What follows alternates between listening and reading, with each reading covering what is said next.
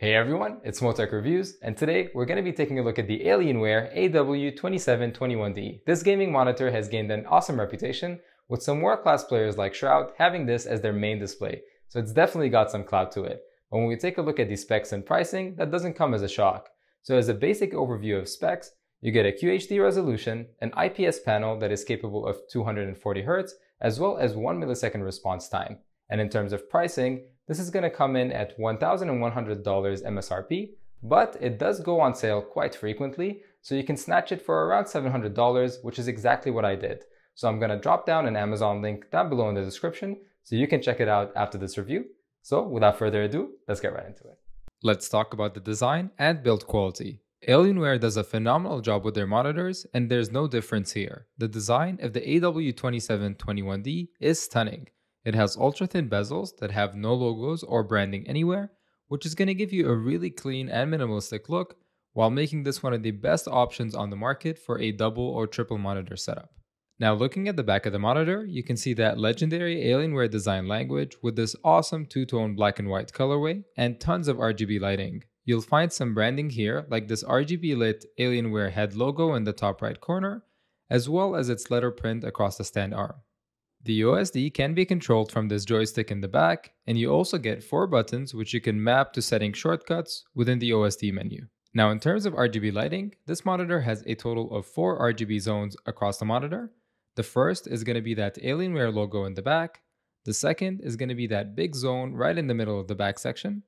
There's also a zone at the bottom of the monitor that shines nicely on the desk here, and you can turn that on and off by simply touching it and the last zone is going to be the power button itself at the bottom right corner. Now these zones can be easily controlled from the OSD menu under the Alienware FX lighting. You can enable and disable the lighting, as well as change the lighting color and brightness to suit your mood and setup. The I.O. selection is quite nice here, with one DisplayPort 1.4, which is going to go up to the full 240Hz refresh rate, two HDMI 2.0 ports that will go up to 104Hz refresh rate, and you also get two USB ports in the back that you can connect directly to your PC with the USB upstream port, as well as two USB ports at the front here to charge your devices, as well as one headphone jack. Now this monitor is built like an absolute tank. It weighs a little over 13 pounds and all the plastics and materials used here are really high in quality and feel really nice to the touch. The stand that comes in the box is massive. It takes a lot of space on the desk, but it does keep the monitor really stable and wobble free. It has some nice ergonomics to it too. It can go up and down, it can go side to side, and you can also put it in a vertical position for those programming setups. The cable management slot is spacious and the cables are routed neatly through these plastic tabs. And finally, you can slide on that I.O. shield that they include in the box to hide everything and keep it really nice and tidy. Now monitor stands that do come in the box tend to be large and this one is definitely no different. So after this review, I'm going to be throwing this monitor onto my monitor arm.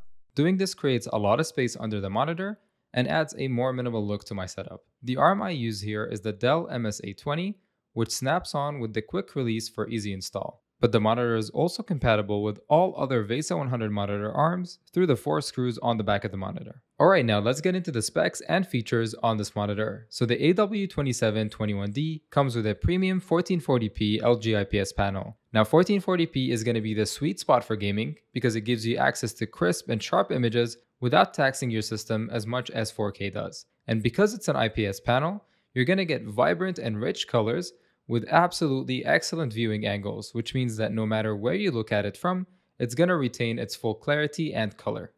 Speaking of color, the color accuracy on this monitor really excels. It has a massive coverage of 98% DCI-P3, as well as 85% coverage of the Adobe RGB space.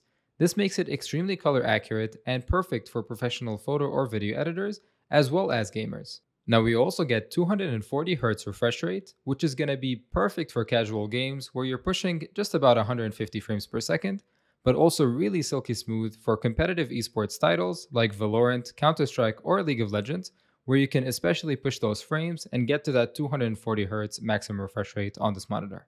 Now the panel itself is capable of true 1 millisecond response time, and it has an impressively low input delay, which makes it extremely fast and responsive, and it eliminates any tearing in gameplay. Now, the response time can be changed from the OSD, where you're going to have three settings. The first is going to be fast for 4 milliseconds, the second is going to be super fast for 2 milliseconds, and the third is going to be extreme for 1 millisecond. I usually recommend keeping it at 2 milliseconds or super fast in this case for an ideal gameplay experience and the least amount of any graphical fragmentation or tearing. So this monitor has G-Sync Ultimate, which is the highest level of G-Sync that NVIDIA offer. So if you do have an NVIDIA card, make sure you have this turned on because it's gonna give you a really nice, tear-free and smooth gaming experience, especially if you have older hardware and your PC can't push out all the frames that the monitor is displaying. And that way, it only syncs a frame when it's ready to display. And so you don't get any ghosting or any fragmentation whatsoever.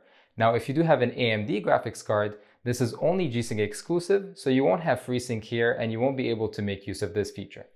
Now, in terms of HDR performance, this monitor is VESA HDR 600 certified, so it's not HDR 1000, so it's not gonna have like a thousand local dimming points or anything like that, but HDR 600 is still capable of giving you an above average experience in terms of HDR consumption. And this HDR here is called Smart HDR, so it automatically comes on if it detects HDR content on your PC, Otherwise, it's always going to remain off. For productivity and creative use, the AW2721D is fantastic. Text and images are really sharp on the screen, and the panel itself is really easy on the eye, especially in the eye comfort mode. And in terms of color accuracy, it has excellent coverage of both the sRGB and Adobe RGB color spaces, so this makes it a fantastic screen for video editors and photo editors. So this is going to be perfect for professionals and people who want to use it for work and play. Alright, now let's talk about the most important category, which is going to be gaming performance. So I'm going to cut straight to the point here. This is the best gaming monitor I have ever tried. And I tested it here with four different games, all maxed out on my RTX 3070, with the response time set to 2 milliseconds on the monitor. The first game I played was Warzone. I was pushing around 130 FPS here, and the new Pacific map looks absolutely amazing on this monitor. The colors here are really vibrant and the gameplay was very smooth. I'm able to clearly spot targets and I didn't notice any lag or flickering. The second game I played is Halo Campaign, and also at around 130 FPS, the scenery looked awesome. The gameplay was really smooth, and the panel is really immersive, making things like my weapons almost feel like they're in 3D or coming out of the screen at me, which is a really, really special feeling here. The third game I tested was Forza Horizon 5. This is a game that is very rich in color and perfectly shows what this monitor is capable of. Graphics here were smooth and really immersive. Finally, I played League of Legends, and I was able to push all 240 frames per second here, which is incredibly smooth. The monitor had no issues with flickering at its full frames capacity, and the game also looked really beautiful here with very vibrant colors popping out of the screen. So overall, I think that this monitor is a dream monitor for both gamers and content creators. If you need one monitor that can do it all and do it well, then this is definitely the one, and I think that's what sets it apart.